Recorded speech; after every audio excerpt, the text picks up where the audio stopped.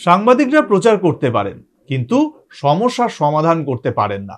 বক্তা মন্ত্রী রতন লাল নাথ।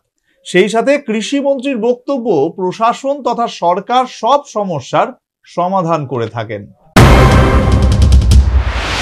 অনেক বছর ধরেই ডালাক গ্রাম পঞ্চায়েতের ডালাক বাজারের পাশেই পরিবার নিয়ে বসবাস করে আসছেন নেপাল সরকার। কিছুদিন পূর্বে প্রধানমন্ত্রী আবাস যোজনার ঘর বরাদ্দ দেওয়া হয় নেপাল সরকারকে। যথারীতি যে বাড়িতে দীর্ঘ বছর বসবাস করছেন, সেই বাড়িতেই ঘর তৈরি শুরু করেন তিনি। ঘর যখন প্রায় শেষ পর্যায়ে, অভিযোগ তখনই নজর পড়ে স্থানীয় পঞ্চায়েতের প্রধান, উপপ্রধান সহ শাসক দলীয় স্থানীয় নেতৃত্বের। সরকারি জায়গা এবং নতুন রাস্তা তৈরি করার অজুহাতে বুলডোজার লাগিয়ে নেপাল সরকারে থাকার একমাত্র ঘরটি ভেঙে ফেলা হয়। বাধা দিলে নেপাল সরকারের স্ত্রীকে মারধর করেন প্রধান উপপ্রধান। অভিযোগ নেপাল সরকারের স্ত্রী এবং ছেলের। কি দিয়েছে ঘটনা? ঘটনা ওখান সকালবেলা তারা ঘর ভাঙ্গা দিয়ে গেছে কইছে রোড বড় করব কয়েছে এরা। আমরা ঘর তোলার সময় তো আমরা এরকম কোনো কিছু কথা কইছে না। তুললে সারছি বলে তারপরে এই কথাটি কইলো আর কি এটা কি সরকারি ঘর হয়েছে? সরকারি বাড়ির মালিকের নাম কিটা? নেপাল সরকার। তোমরা কয়জন পরিবারে? আমরা পরিবারে চারজন একজন ছোট বোন আমি বড় ভাই। এ বাংসে কি দিয়া? দেয়া। কে কে কে কে আসিল বাঙাল সময় প্রধান আছিল উপপ্রধান আছিল মেম্বার টেম্বার যা আছিল তারা সবাই আছিল। হ্যাঁ তাদের বক্তব্য কি কেন ভাঙতে আছে? তাদের বক্তব্য এই ঘটনার পর আক্রান্ত নেপাল সরকারের স্ত্রী কন্যা মুখ্যমন্ত্রী ডক্টর মানিক সাহার সাথে সাক্ষাৎ করে অবস্থার বর্ণনা করেন।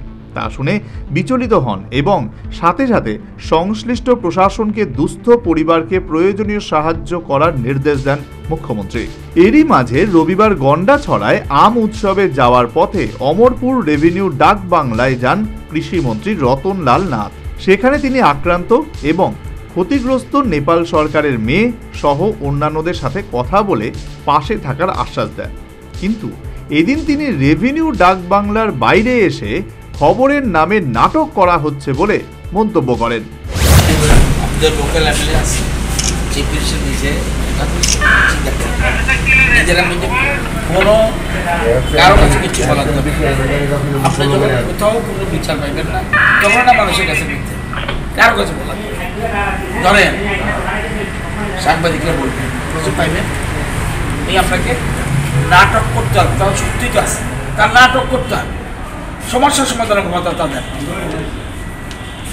সমস্যার সমাধান করুন জনপ্রতিনিধি। আমি এমন এমন কাজ করব আমার দরকার নেই বলে কাউরে। যদি দেখা যায় আমাদের local MLA minister chief minister কিছু করতে ওকে কারও কাছে কিছু বলা এই নিয়ে উপস্থিত সাংবাদিকরা মুখ্যমন্ত্রী যে সামাজিক যোগাযোগ মাধ্যমে বিবৃতি দিয়েছেন তা উল্লেখ করেন। এরপর মন্ত্রী রতন লাল নাথ কি বললেন? শুনুন। স্যার মুখ্য- ফরওয়ার্ড। মুখ্যমন্ত্রী যে ফেসবুকে দিছে এটাও তো দিছে মিডিয়ার থেকে শূন্য তাহলে সারছে।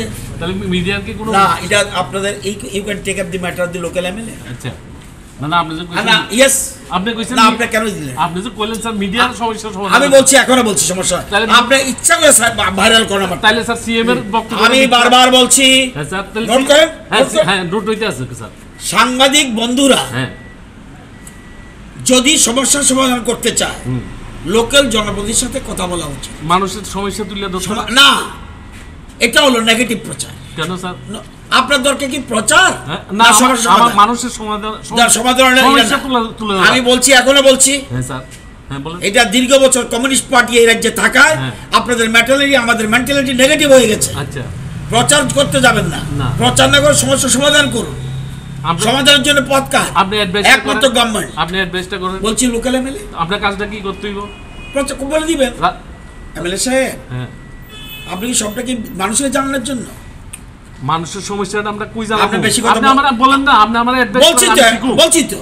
আমি না, না। এক মিনিট মিনিট স্যার তো শিখতেই হবে আমার না শিখার দরকার নেই। আমরা মন্ত্রিসভার বয়োজ্যেষ্ঠ মন্ত্রী রতনলাল নাথের স্পষ্ট বক্তব্য সাংবাদিকরা প্রচার করতে পারেন। কিন্তু সমস্যার সমাধান করতে পারেন না। সেই সাথে কৃষিমন্ত্রীর বক্তব্য প্রশাসন তথা সরকার সব সমস্যার সমাধান করে। এখনই বলছি মিডিয়া শুনে হ্যাঁ। মিডিয়া প্রচারের আগে মিডিয়া প্রচার করতে পারবে সমস্যা সমাধান করতে পারবে না। এখনও বলছি আপনি আমরা মানুষ না, সরকারের সমস্যা সমাধান করতে পারেন না। আমি এটা সমস্যার সমাধান করবে সরকার। তুলে ধরতে পারব সমস্যা আমরা কি কথা সমস্যা বলতে পারছেন না কিন্তু হ্যাঁ। সমস্যা সমাধানের জন্য মিডিয়া নয় সমস্যা সমাধানের জন্য প্রশাসন। ঠিক একদম স্যার। না ঠিক আপনার কথা ঠিক আছে। না না আমরা পারব না আমরা পারব না। সমস্যাকে তুলে ধরতে পারব না আমরা? প্রচার করতে হবে। সমস্যাকে তুলে ধরতে পারব না তাহলে? তোলার জন্য কথা আলাদা জিনিস। হ্যাঁ। আমি যদি বলি আমি যদি সমস্যার সমাধান করতে চাই তাহলে ব্যাপারটা আমি সমস্যার সমাধানের জন্য প্রচারের আগে স্থানীয় প্রশাসন কর্তৃপক্ষ যারা আছে তাদের দিলে এটা হবে ওই ব্যক্তি যার জন্য প্রচার করছেন এর লাভ হবে। তাহলে সবাই Am I right or wrong? স- সমাধান স্যার আপনি সবসময় আপনি ঠিক আরে, আপনি আপনি ঠিক আমি আপনার সাথে কথা বলব আমি সবসময় ঠিক। ঠিক আছেন আপনি আপনার বক্তব্য আপনি বোধহয় সবসময় ঠিক। আপনার- আমরা আপনার- বিপদ আপনার- রেকর্ড করছেন তো? আপনি ইচ্ছা করে প্রচার করুন আমরা মোটেই ঠিক ইচ্ছা করে সাংবাদিকদের প্রশ্ন ছিল মানুষের সমস্যার কথা কি সংবাদ মাধ্যমে তুলে ধরতে পারবে না? মন্ত্রী রতনলাল নাথের উত্তর ছিল কমিউনিস্ট প্রসঙ্গ। শুনুন।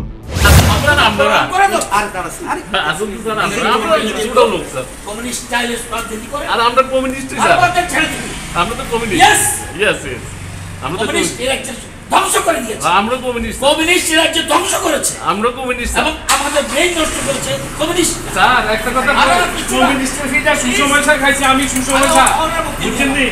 এমনি এমনি স্যার। কমিউনিস্টের ফিটা আমি খাইছি আমি জানি? আপনি যে কমিউনিস্ট টার্গেট করেন আমার আমি যা করে বলছি। আপনার চোখের সবটাই আইডেন্টিফিকেশন করে আমি বলছি আমার আমি আপনি একটা সিনিয়র মিনিস্টার এই কথা। শুনুন আপনি আপনি একটা বিরোধী আরে ভাই শুনুন। শুনুন। রাখেন। আমি কথা কি বলছি? কমিউনিস্টরা আমার সহ আপনাদের আমাদের সমাজের ব্রেন নেগেটিভ করেছে। আরে আমিও ফিটা খাইছি। আপনি কবেন দেখছেন কথা? আপনি এইভাবে আমি একটা প্রশ্ন করব আপনি আমার কমিউনিস্ট টিকা লাগাই ঠিক না আমি বারবার বলছি আপনাকে আমি সহ সবাইকে নেগেটিভ করে দিয়েছি। দীর্ঘ বছর শাসন তার অর্থ বলছেন কমিউনিস্ট আরে কমিউনিস্ট কইয়া আমার আমি পলিটিক্যালি ইউজ করি। আমি পলিটিক্যালি এই আমি মিনিস্টার আমি এদিন নতুন আশা জাগিয়ে এবং কৃষকের জন্য নতুন সম্ভাবনার সঞ্চার করে জেলার গন্ডাছড়া মহকুমার নারিকেল কুঞ্জে শুরু হলো দুই দিন ব্যাপী মহকুমা ভিত্তিক আম উৎসব। একই সঙ্গে উদ্বোধন হলো মহকুমার কৃষক বন্ধু কেন্দ্র। উদ্বোধন করেন কৃষিমন্ত্রী রতনলাল নাথ। এদিন কৃষিমন্ত্রী ছাড়াও বিধায়িকা নন্দিতা দেববর্মা রিয়াং, এডিসির কৃষি বিভাগ ও মৎস্য বিভাগের কার্যনির্বাহী সদস্য রাজেশ ত্রিপুরা, ধলাই জেলা শাসক সাজু ওয়াহিদ এ সহ অন্যান্যরা উপস্থিত ছিলেন। আম উৎসবের প্রাঙ্গণে বাইশটি প্রজাতির আমের সমাহার দেখে নিজের উচ্ছ্বাস এবং আনন্দ চেপে রাখতে পারেননি উদ্বোধক। বক্তব্য রাখার ফাঁকে তিনি প্রকাশ্যেই স্বীকার করেন, মন্ত্রীর চুয়াত্তর বছর বয়সে একসঙ্গে এত প্রজাতির আম তিনি দেখেননি। Bureau Report, News Vanguard.